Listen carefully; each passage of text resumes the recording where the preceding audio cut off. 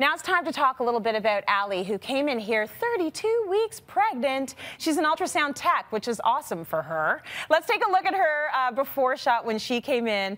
And now let's take a look at Allie now. Wow. Stunners! How you feeling, Mama? I'm feeling great. Yeah, you look amazing. How's Thank the you. pregnancy been? It's been fantastic. Very fortunate. That is good news. Yes. And you're very fortunate to have this amazing team with you. Palma and Annemarie, thank you so much. Okay, let's talk about this hair, love. Well, the hair nerd is here to save the day.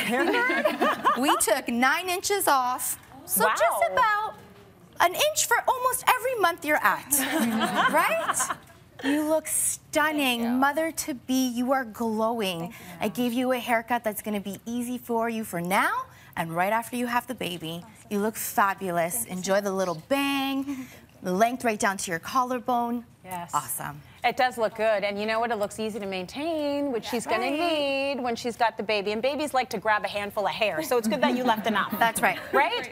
Okay, come on in here, Emery. Let's talk about her beautiful face. Of course. Well, a new mom to be can definitely wear a glam look. Yes. Because the holidays are coming up, right? Yeah. And um, what I chose for her to do is um, beautiful, a bit more matte complexion. With I didn't really need to add glow because that she already has for Mm. Yes. herself.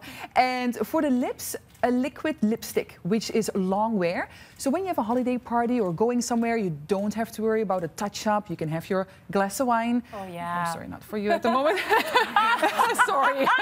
Come on in, Lynn. yeah, no, she looks great. yeah, she might yeah. skip the wine for a while, but for her water, it won't get on her water glass, There you right? go. Yes, totally. Now, she. Looks stunning. We talked a lot mm. about holiday today, and she's got just a little bit of shine happening here. just specifically so that it just is enough Yes. and no more than that. But I love it too because you're comfy, aren't you?